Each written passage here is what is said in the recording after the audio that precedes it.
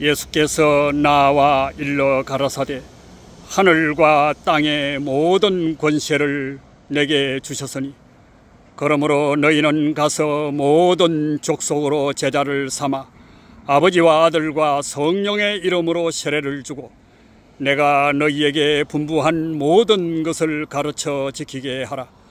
볼지어다 내가 세상 끝날까지 항상 너희와 함께 있으리라 하니라.